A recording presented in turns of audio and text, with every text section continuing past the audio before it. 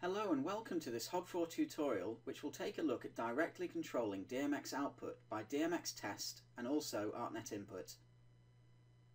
The outputs of internal or external DP8000s are typically controlled by HogNet from the console. The values of DMX channels are determined by which fixtures are patched and how they have been programmed in the show file. They are displayed in the DMX output window. To open the DMX output window, press the Setup key followed by the DMX button on the main toolbar. In this window, all 512 channels of each selected universe are displayed. You can change which universe is in view by selecting the desired DP8000 and one of its 16 universes from the drop-down menus. From this window, the DMX channels can be directly controlled by two methods, DMX test and ArtNet input. We shall firstly look at DMX test. Firstly, note that the channels are currently displayed in black. This indicates that they are being controlled by HogNet from the console. Blank channels indicate that no fixtures have been patched to them. To directly control a channel, double-click on it or select it and press the Set key. Enter a DMX value between 0 and 255 followed by Enter. This can also be done for a range of channels by dragging over them and pressing the Set key. Note that these channels are now displayed in blue, indicating that they are being manually controlled by DMX test. To set the channels back to HogNet control, reselect them by dragging over them and press the Set to HogNet Input button.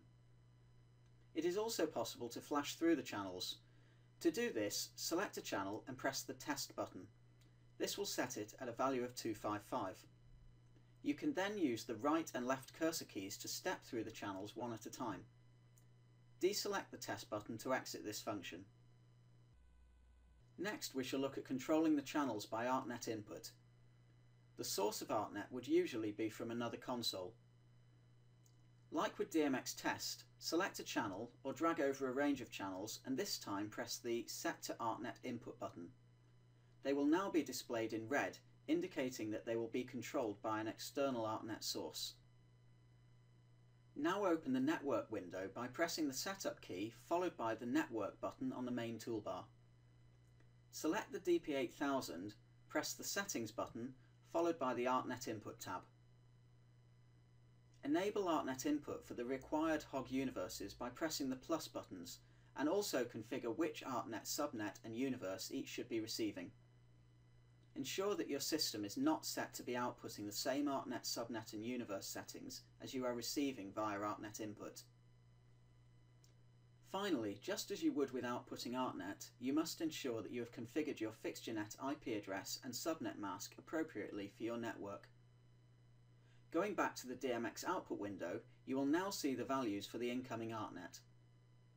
Like with DMX test, to revert back to HogNet control of these channels, just reselect them and once again press the Set to HogNet Input button.